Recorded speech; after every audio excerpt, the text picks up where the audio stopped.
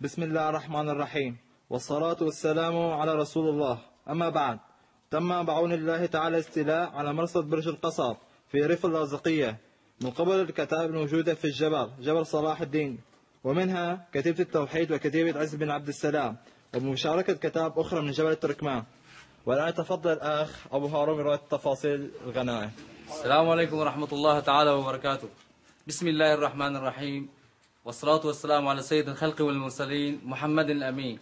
تم بعون الله وفضله ومنه أن استولينا على برج القصب وذلك بعد تشارك كثير من الكتائب.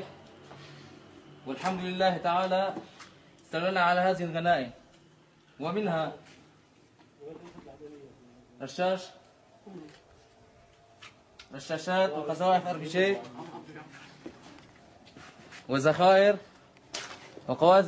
ار بي جي والحمد لله وتم تدمير دبابة والاستيلاء على دبابتين وذلك بفضل الله.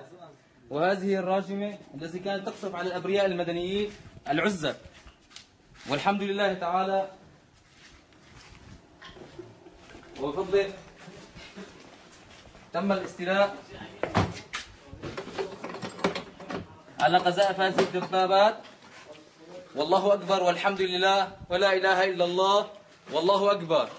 تكبير! الله أكبر. تكبير! الله